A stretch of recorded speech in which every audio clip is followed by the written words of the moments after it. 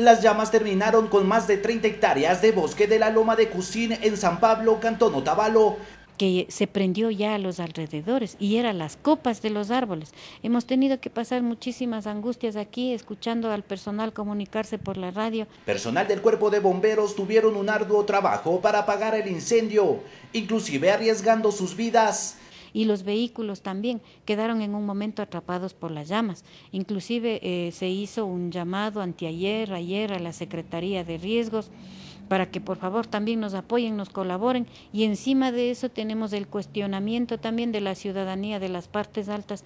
La magnitud de las llamas que amenazaban con acabar con todo un atractivo natural fueron controladas luego de 24 horas. Era de noche pues veía muy, muchas llamas y todo, entonces acudieron toda la población cercana aquí a la zona para apoyar lo que es la extinción del incendio.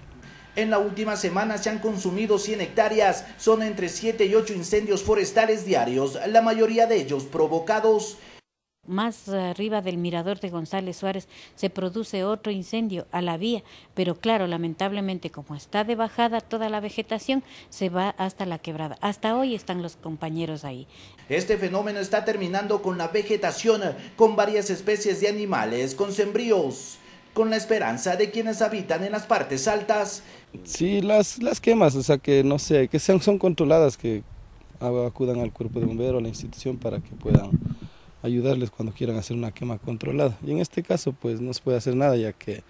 El trabajo de las autoridades de control no logra evitar que sigan presentándose los incendios forestales, solo piden mayor conciencia a quienes realizan quemas agrícolas o intencionadas sensibilidad y también sienten hambre, sienten deshidratación y hay que apoyarles, hay que ayudarles, pero para eso tiene que estar ya la comunidad, el dueño del bosque.